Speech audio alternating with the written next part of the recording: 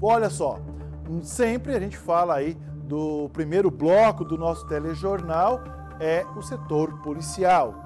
Ê, rapaz, e o Alfredo Neto foi até o bairro Guanabara, adivinha? Porque lá a polícia militar fechou aí uma boca de fumo. Alfredo. A polícia militar prendeu um casal por tráfico de drogas no final da tarde, já quase começo da noite de ontem, ali no bairro Parque São Carlos, na divisa com Guanabara, na rua Washington José da Costa.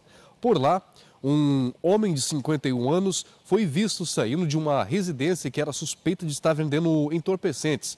Homem esse de 51 anos que foi revistado com ele, os policiais encontraram algumas paradinhas de crack. O mesmo contou que teria pago 10 reais por cada paradinha ali numa boca de fumo, aonde os policiais estavam monitorando. O mesmo confessou que era usuário de entorpecentes e que compra drogas rotineiramente ali naquela localidade.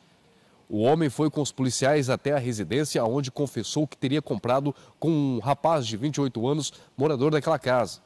O suspeito de estar vendendo drogas estaria na frente da casa, lavando a moto junto com a namorada, a esposa dele, a convivente. Durante a abordagem, uma policial feminina foi chamada para ir até o local para poder auxiliar nas buscas, já que necessitaria fazer uma revista pessoal da esposa do suspeito. Com ela, a policial feminina da PM encontrou cerca de 280 reais em um dos bolsos da bermuda e algumas paradinhas de crack.